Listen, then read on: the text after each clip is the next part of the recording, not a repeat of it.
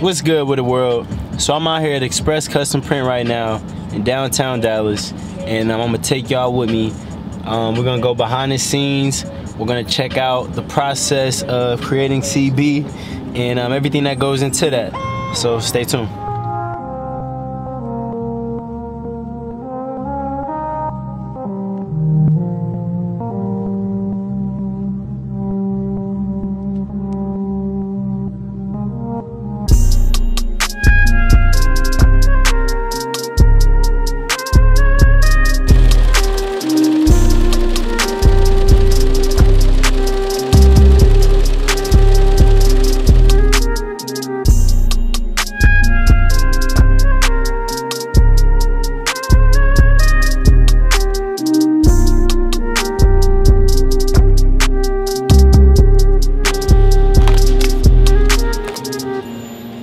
Oh yeah.